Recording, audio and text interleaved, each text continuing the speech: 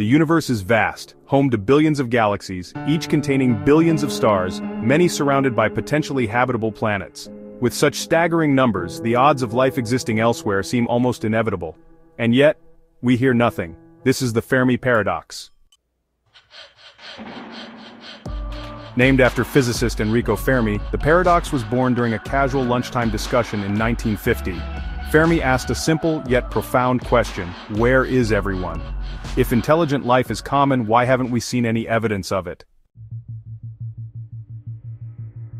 To understand the paradox we turn to the Drake equation, a formula estimating the number of civilizations in our galaxy capable of communication. It considers factors like the number of stars, planets and the likelihood of life evolving.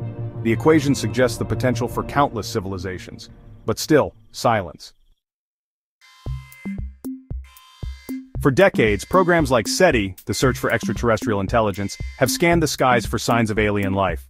Yet despite advanced technology and countless hours of listening, no definitive signal has been detected. Scientists subtitled, The absence of evidence doesn't necessarily mean evidence of absence. The answer could lie in the paradox itself.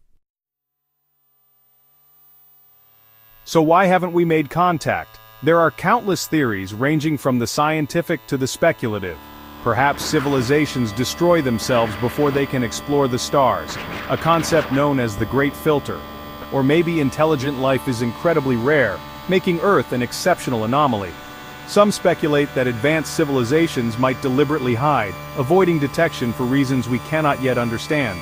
Another theory suggests the universe is simply too vast, with distances and timescales so immense that contact is nearly impossible.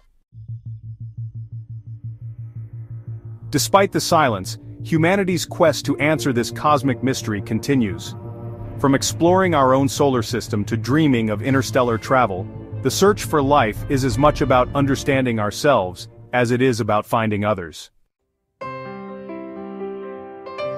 The Fermi paradox challenges us to confront profound questions about life, technology, and our place in the universe. Are we alone, or are we part of a much larger story waiting to unfold?